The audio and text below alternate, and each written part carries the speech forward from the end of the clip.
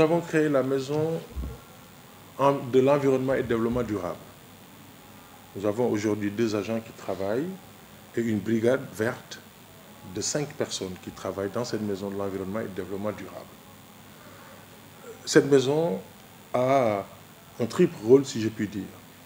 Éducation environnementale à destination des écoles et de tout public, d'une part. D'autre part, prendre les questions environnementales pour essayer d'éclairer, parce que conséquences, impact, il va falloir à un moment donné qu'on l'étaye. Et enfin, ce n'est pas encore le cas, on y travaille, c'est de disposer de nos propres outils de mesure de la qualité de l'air. Oui, nous sommes, notre position géographique fait qu'on a un certain nombre d'industries lourdes qui sont chez nous depuis 1948, pour parler de la Sorosim. Il n'y a plus d'espace pour accueillir de grosses implantations industrielles et partout dans le monde, dans la configuration euh, des agglos, chaque mètre carré joue un rôle précis dans le développement d'une agglomération. Oui, notre position par rapport à Dakar fait que nous accueillons aujourd'hui beaucoup de projets. Des projets parfaitement et très importants comme le pôle urbain. Nous remercions son Excellence d'avoir fait en sorte qu'aujourd'hui, notre commune, notre département soit au cœur des enjeux de développement économique du Sénégal. 16 ministères, le Stade du Sénégal, c'est des infrastructures qui sont importantes et nous n'avons, en tout cas, moi, je n'ai pas connaissance dans l'histoire du Sénégal d'un tel déploiement, d'un tel euh, projet pour faire en sorte que les aménagements puissent précéder les hommes. Oui, nous avons également de l'industrie accompagne ce développement.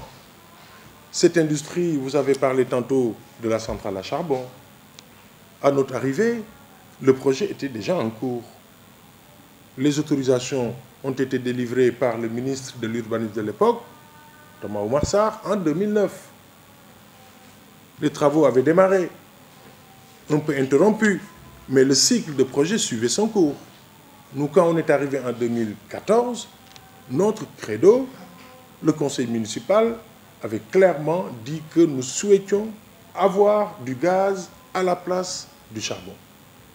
Nous avons été entendus et on remercie son Excellence également, nous connaissons sa sensibilité environnementale, d'avoir accepté cette transition du charbon vers le gaz. Ce processus est en cours. Il y a un peu moins d'un mois, Madame la ministre du Pétrole en a également parlé.